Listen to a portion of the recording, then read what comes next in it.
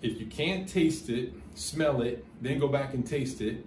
If you can't smell it, try to breathe it in and then go back and, and taste it again and see if it, or, or smell it again and see if it smells better. And it's just an easy little strategy that oftentimes helps and just, just develops a sense of smell and taste better.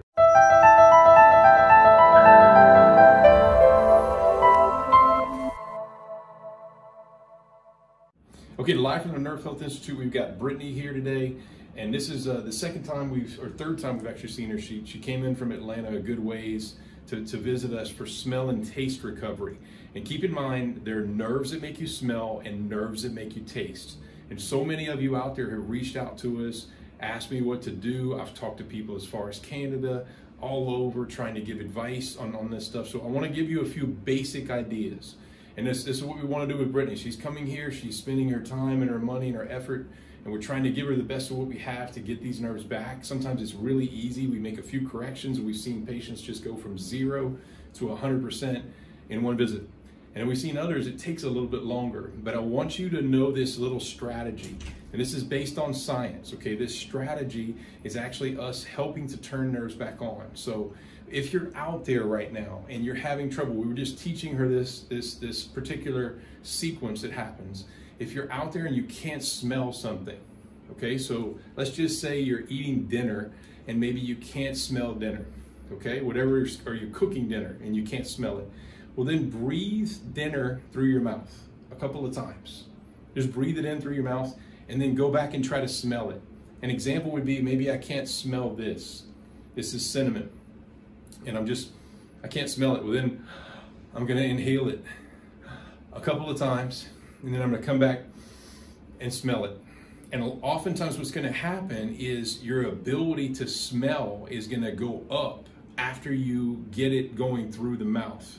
The same nerves that make you taste and smell are on the same tree branch of nerves coming off your brain.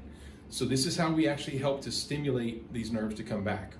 The reverse side would be maybe you can't taste your food. Let's say you're eating and you can't taste it or drinking something, you can't taste it. Well, smell it really deep and then come back and taste it again. And you can actually do this several times. It doesn't have to just be one time or twice uh, to be able to do it. So do you have any questions with respect to that?